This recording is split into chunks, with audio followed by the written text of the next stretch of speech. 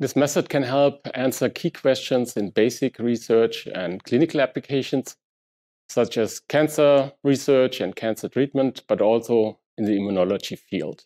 The main advantage of this method is that it is a static method and easy to facilitate.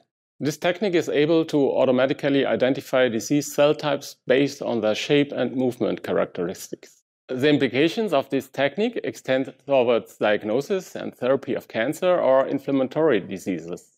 This method can provide insights into interactions between immune cells and cancer cells, but it can be also applied in any field where three-dimensional microscopy data are necessary.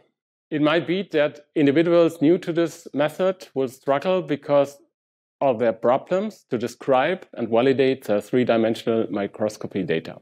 We thought that a visual demonstration of this method is critical because the software tools that were utilized here are not familiar to many of the scientists.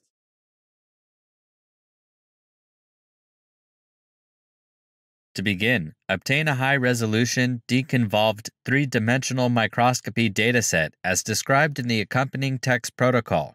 Load the 3D image data into the reconstruction software and begin to create a 3D surface for each object. To accomplish this, select the 3D View option and click on Surfaces. Then click on the Next button to proceed with the Surface Creation wizard.